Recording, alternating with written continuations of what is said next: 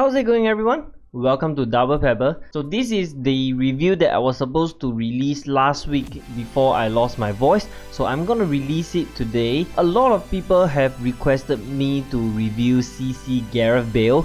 I think the reason is because a lot of new season came out like LP, CP. So the previous season that was available was EC and everyone was excited about the new Gareth Bale. So we're gonna take a look at him today and see if he is worth your money okay? So Gareth Bale is 18374 kg he's more of a physically big kind of winger something like Cristiano Ronaldo. And he is also skinny build he's got good strength I would say 84 which is not that bad. Good stamina as well.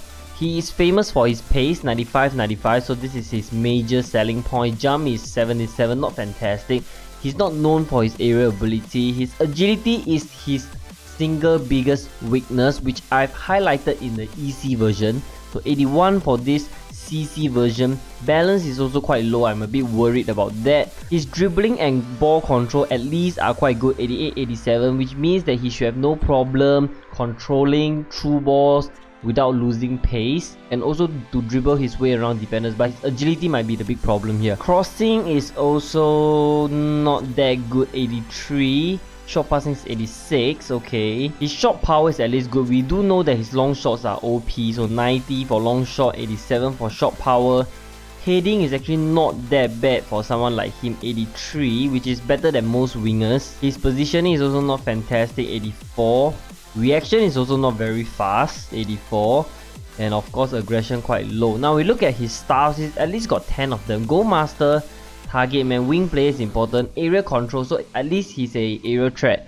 Dribble Master, Tanker, okay. Crosser, Sniper is important.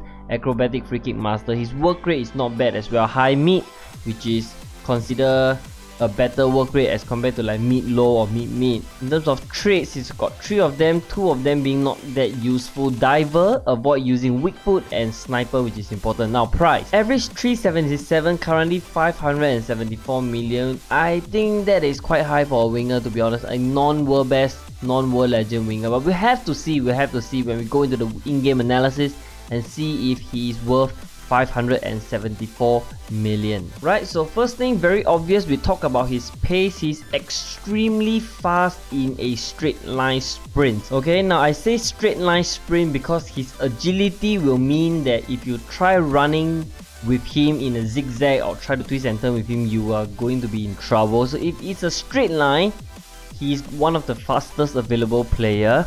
Now dribbling and ball control is also very high. This is important like I said many times, you want your winger to trap the ball without losing speed and get away from the defender and with his high ball control at least he's able to do that. His high dribbling also kind of mitigate his low agility which means that he is still able to dribble past some defenders. Next thing we talk about his balance. Although his balance stats is only 80 right, surprisingly in game he stays on his feet very well. He doesn't fall over easily and I think that is partly attributed by his skinny build. So you guys should know by now, skinny body players are able to stay on their feet much better as compared to average or bulky.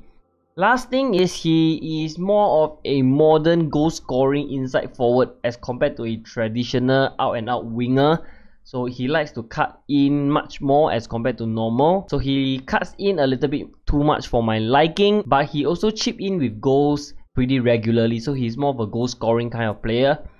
Now weakness, we've got two big weakness to talk about and the first one is of course his agility. This is the same problem as the EC version. It is a big big problem against strong opponents because these opponents are not gonna give you a lot of space and without space it is hard for him to sprint in a straight line so he has to twist and turn to create space and that is the problem okay when he twists and turn it's not as sharp it's not as fluid and it is easy to read his motion good defenders will be able to tackle him easily. Next thing is his aerial ability. You know there are players with low heading stats like Robin that can win you headers and then there are players with good heading stats like Bale 83 heading but can't win a header to save his life. So Bale has this problem. So in the event that sometimes your winger swap position with the striker, if a cross come in, don't expect Bale to win you many headers. That is one of a big problem.